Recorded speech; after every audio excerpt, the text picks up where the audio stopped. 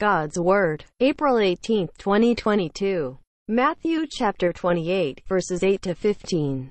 8 And they went out quickly from the sepulchre with fear and great joy, running to tell his disciples.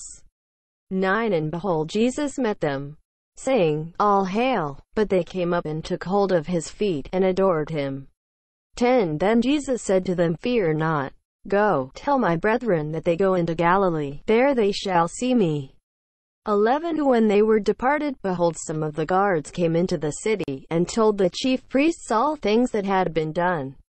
12 And they being assembled together with the ancients, taking counsel, gave a great sum of money to the soldiers. 13 Saying, Say you, his disciples came by night, and stole him away when we were asleep.